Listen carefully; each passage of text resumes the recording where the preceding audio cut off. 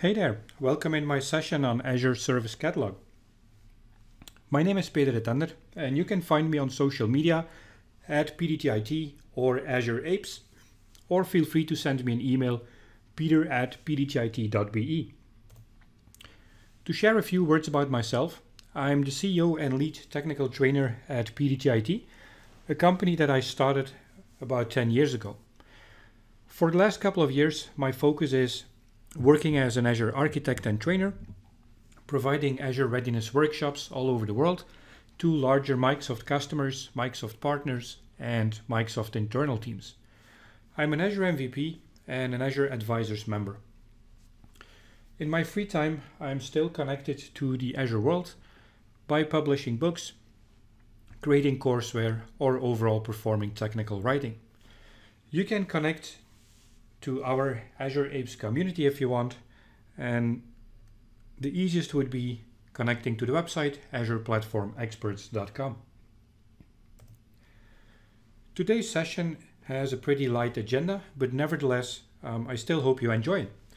I'm going to start with explaining what Azure Service Catalog is, followed by walking you through the different steps it takes to actually build an Azure Service Catalog, followed by sharing the insights on how the Azure Service Catalog items can be deployed, and wrapping up the session by going through an end-to-end demo showing the different steps and really deploying the Service Catalog item. Now obviously starting with the key question, what is Azure Service Catalog? Azure Service Catalog offers organizations a catalog like a library or um, a collection, if you want, of approved solutions for Azure. So it really allows you to deploy Azure resources like virtual machines, or maybe even a combination of different Azure resources like web apps, IaaS components, anything you can deploy in Azure, but from a non-IT perspective. So really allowing employees in the organization to not only easily discover the different workloads of, offered by IT, but also allowing for self-service deployment.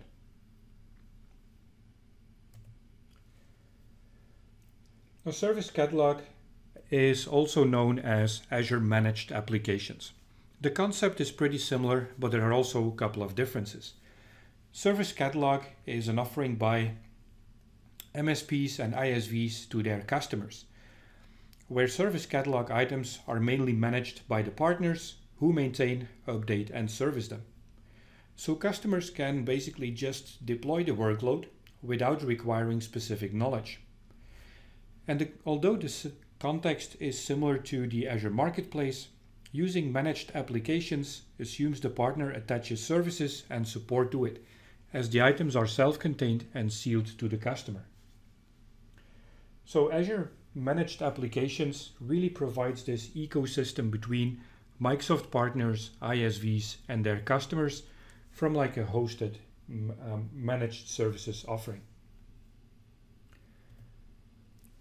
Now the main difference, however, between the two environments is really that the managed applications are offered to an external user, where Azure Service Catalog items are offered to the internal business users. But the technical components under the hood are totally identical.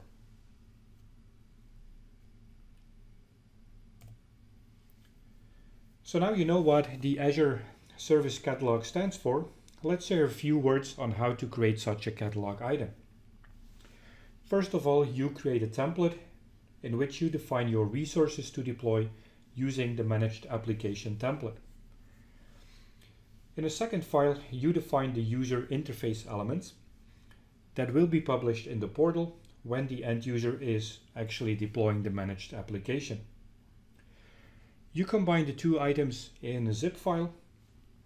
You upload the zip file to Azure Blob Storage. And next to that, you define which user or which security group or application, if you want, needs access to the resource group in that specific subscription. Lastly, you create a managed application definition pointing to the zip file and requesting access to your security group. So drilling down a bit on the main template.json, it's a typical Azure Resource Manager JSON template file in which you describe what resources get deployed. Now most important here, besides obviously making sure that the syntax and structure of your JSON file is correct, the most important thing is that the file is case sensitive and must be named main_template.json with a small m in the beginning and a capital T for template. If the file is not named in that way, then the deployment will fail and tell you that the file is case sensitive. So that's pretty important.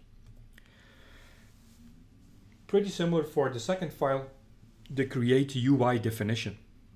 It's again another Azure Resource Manager template, but this time it's really used for generating the interface the users get to see when they're deploying the service catalog item.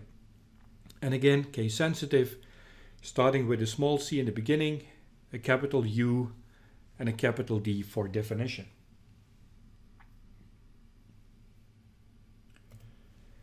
Drilling down a bit on the structure of this create UI definition JSON file, it starts with a handler, and the handler for now should always point to microsoft.compute.multivm. The version for now points to the 012 preview, and in the parameters you define the basics and the different steps, which are mainly referring to the actual elements of the GUI like list boxes, drop-down menus, and the different step-by-step -step scenarios. And the output is providing you the overview of the parameters used throughout your deployment. So once you have those two files, you can create your zip file. So really taking the main template JSON, the create UI definition JSON, and adding them into a zip file, where luckily the zip file can have about any custom name you want. You store both files in the root of the zip file because otherwise they won't be recognized, so no subfolders are allowed within the zip file. You upload the zip file to a shared location from where it can be retrieved, and obviously the recommended location would be Azure Blob Storage. And in the last step, you create a managed application definition pointing to the zip file. Now creating the actual service catalog definition, again, you start from your blob storage container, defining the privacy as blob and uploading your zip file in there. You could use Azure Storage Explorer or um, like PowerShell commandlets to do so. Next to that, you create a new Azure AD security group and you read out its object ID. So you can just browse to Azure AD, selecting the group and reading out the object ID because as you can see in the underlying Azure RM managed application PowerShell commandlet, you need to point to the blob, you need to point to your security group in the authorization parameter, and everything else is pretty descriptive for the display name of your managed application, the Azure location where you want to deploy it, and the resource group in which you want to have the service catalog definition item. When all that is done from the backend, I would say from the IT admin perspective, you can continue and having your end users actually deploying the service catalog item. They connect to the Azure portal, creating a new Azure resource, selecting service catalog managed application. It will show the list of all current available applications, selecting it and depending on how you build up your GUI um, layout, they might need to enter complete some settings, some parameters, and kicking off the actual deployment. So with that, um, walking you through the demo, sharing some insights on the JSON files, the zip file that I created, um, and showing you the actual deployment from the portal. So starting from my JSON files. So for now it's a pretty easy JSON file in which I'm deploying a storage account. So this is literally a JSON file copied from GitHub Azure Quick Start templates in which I'm defining my parameter up here, the storage account name prefix, a storage account type, and the location, which is um, to be selected by the users. Next to that, I define a variable and my actual Azure resource components and providing an output with the name of the storage account. So pretty um, basic template if you ask me, but again, it's just an example, right? Next to that, the create UI definition. And this is real fun because you can really build up the different steps in your deployment process and allocating um, the descriptions for each and every step. So in the first step, storage configuration, I'm going to add a label. Please provide me your MVP days storage settings. Next to that, I want a new blade title, MVP days storage settings in which I'm pointing to the storage account from the other JSON template and providing a prefix MVP days storage account name prefix. And you will find out later on when I'm deploying the resource um, what this actually refers to. I'm going to give the user some options on how to define the storage replication. And again, this is um, optional you could also define the default one and removing the other options, making it a bit more straightforward for the user to actually deploy them. So again, making sure that your files are case sensitive and next to that, you create a service catalog application zip file. Using Azure Storage Explorer, you upload this file into a new container in a blob storage which makes it available to the users. Next to that, you run the PowerShell script that I showed you in the PowerPoint, pointing to your Azure Active Directory security group. And the documentation there wasn't all that clear, so I'll just try to help you here a little bit. So what you do is creating a security group, which I called Service Catalog Group, pretty original as a name. And what you need is the GUID, also known as the object ID for the given user um, or the security group, which basically means that this group has the deployment rights to execute um, the actual service catalog deployment.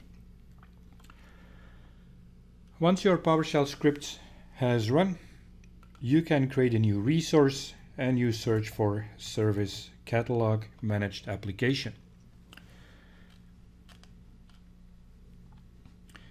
In here we find our MVP days storage account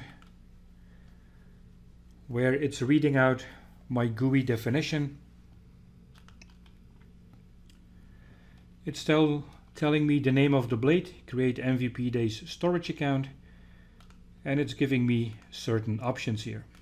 So I need to create one. This could be MVP live demo resource group giving the user the flexibility to select a location. And again, this is all based on your UI definition. And remember from my UI definition JSON file, please provide me your MVP days storage settings is literally the information that pops up here. The storage account, MVP days storage demo, something like this. And from the other item in the GUI definition, standard local redundant storage, but still giving the flexibility to select any of the other items, where you can see that the other items that were not defined in the GUI are not available for my user. And obviously again, if you remove this item, then it's almost like selecting the deployment and not giving the user any flexibility to um, define any settings. So from here, kicking off the deployment, it's creating a pretty basic storage account, so it shouldn't take that long.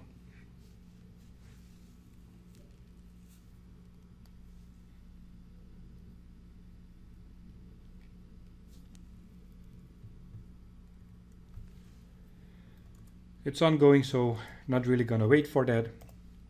Which means that we're at the end of the session in which I started explaining you what an Azure Service Catalog is detailed you the steps on how to actually build an Azure Service Catalog, walked you through the deployment, and wrapped up the session doing a live demo. So with that, I would like to thank you for being in my session. I hope you enjoyed it. Again, feel free to reach out, even shout out on social media, or sending me an email with your feedback. I wish you a nice rest of the MVP Days conference.